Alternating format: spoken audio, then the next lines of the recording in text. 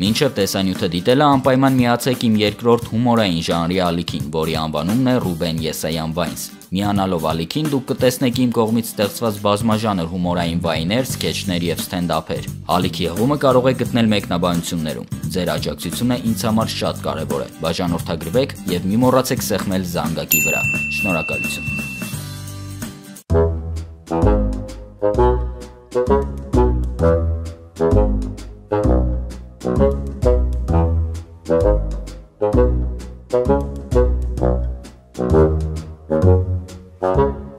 Տանը մենակ։ Վստահ եմ բոլորդ ինձ հետ համաձայն կլինեք, եթե ասեմ, որ այս ֆիլմը չտեսած յուրաքանչյուր մարդու մանկությունը ինչ որ չափով թերի է անցել։ Այս հրաշալի պատմությունը, որը 90-ականներին էկրանավորվեց ռեժիսոր Քրիս Կոլամբուսի կողմից, դարձավ ամենասիրված ֆիլմերից մեկը։ Ամեն տարի ամանորին բոլորը դիտում են այս ֆիլմը, որպեսզի եւս մեկ անգամ հիանան խելացի Քևինի պատրաստած հակարդներով ու մի լավ ծիծաղեն, երբ դրանցում հայտնվեն ավազակներ Մարվն ու Հարի։ Արդեն անցել է մոտ 30 տարի, բայց ֆիլմը դեռ մնում է երիտասարդ։ Իսկ այ ֆիլմի հետ կապված մի շարք գաղտնիքներ վստահ եմ, որ չգիտեք։ Եվ այսպես 10 հետաքրքիր փաստ տանը մենակ ֆիլմից։ Գնացինք։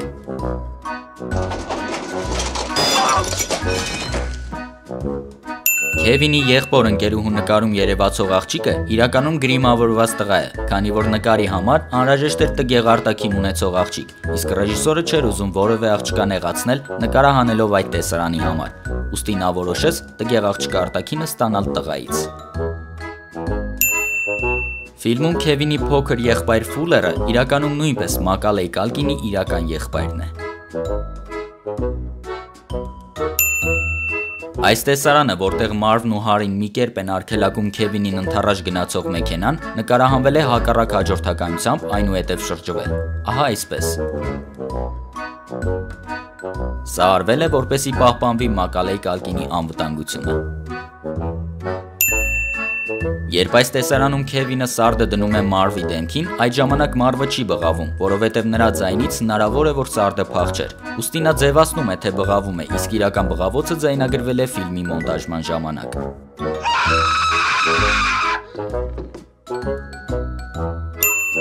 Քևինի այդքան սիրելի ֆիլմը իրականում գոյություն չունի, եւ դա նկարահանվել էր հատուկ տանը մենակ ֆիլմի համար։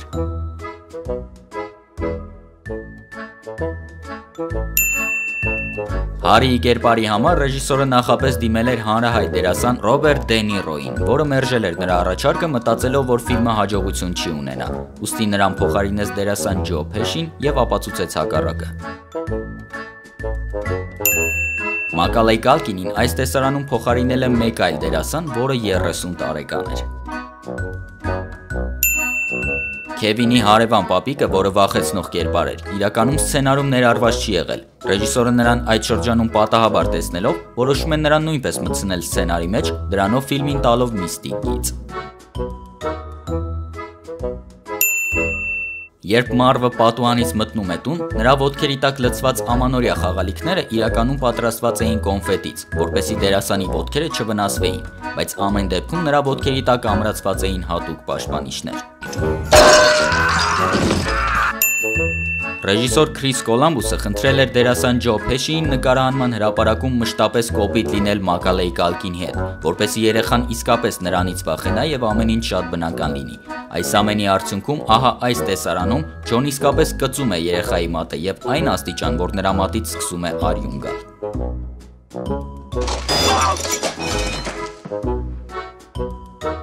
Այսօրվա համար այսքանը։ Հուսամ հետաքրքիր էր։ Եթե ձեզ դուր եկավ այս տեսանյութը, ապա մեկնաբանություններում գրեք այդ մասին եւ ես կհանդարնամ այլ ֆիլմերի եւս։ Ձեզ հետ Ռուբեն Եսայաններ։ Կհանդիպենք։